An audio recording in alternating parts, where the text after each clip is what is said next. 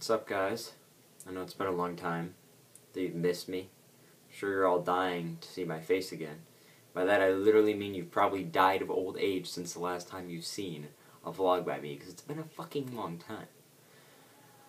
So, today, you know, St. Patrick's Day, and I thought I'd kind of explain to you and bring about the lies and the deceit and the horror that is St. Patrick's Day. Now, don't get me wrong, there's a lot of holidays that I think are stupid or that I hate and that I think are completely unnecessary, but this is probably the number one one because it's St. Patrick's Day. Don't get me wrong, I heard St. Patrick's dude was a great fucking guy and all, and I'm sure he had quite the ginger fro going on, but I don't know.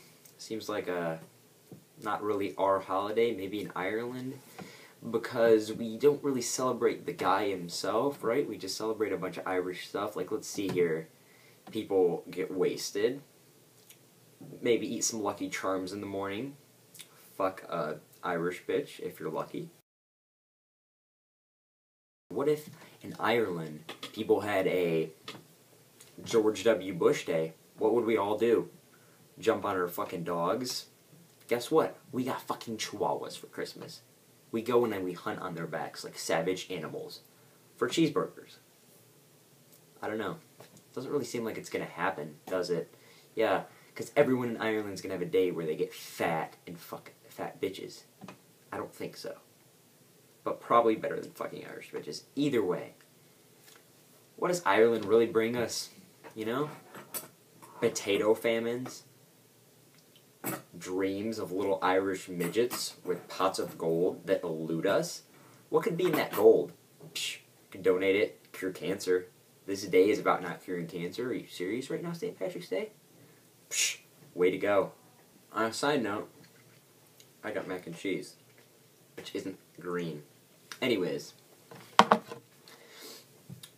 little midgets, pots of gold, not helping cure cancer. Then guess what happens? They bring down their four-leafed dildo that's green and shimmering. They stick it up your fucking ass. And your ass only has one hole in case you forgot, not four. I don't know what happened to those other three, but I am a little bit better at math than you may think. It doesn't work, okay? I'm telling you right now, it doesn't. So I don't know. Seems kind of fucked up. So, with many holidays, traditions, you know, some things come with it. Christmas, we get a fat man in a red suit, comes down our chimneys, doesn't rape anyone, and leaves us presents. Eats our cookies. He's probably having a heart attack on our floor and dying as we go and see him. He's gasping for air, and then we realize it's our neighbor uncle. It's our neighbor next door. Kind of smells like Taco Bell every day. He has candy wrappers all over the floor, some screams you don't understand. He's laying on the floor thinks he's Santa. So, what comes with St. Patrick's Day? A lot of people think they can pinch you. I don't know.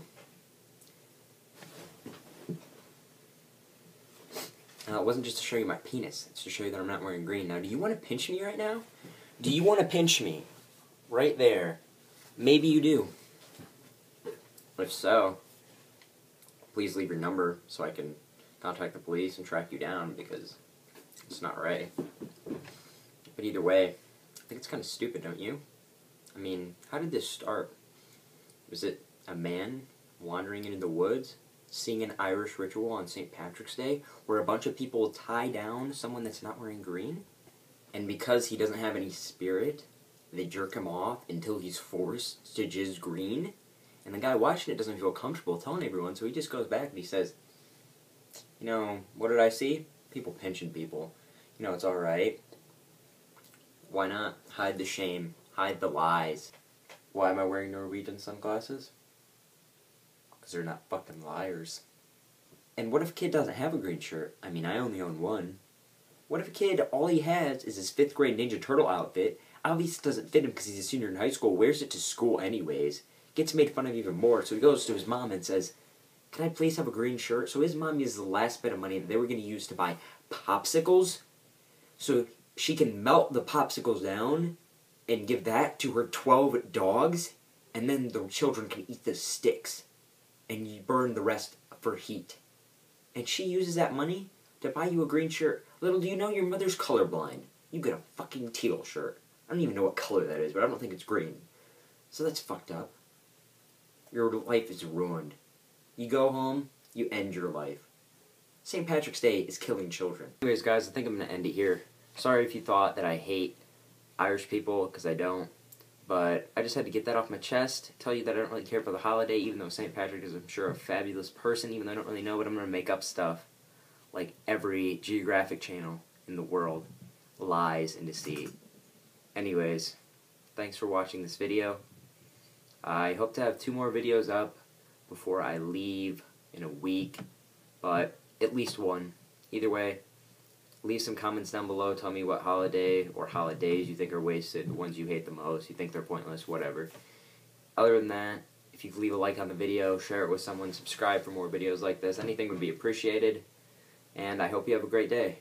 Thanks for watching. I'll talk to you later.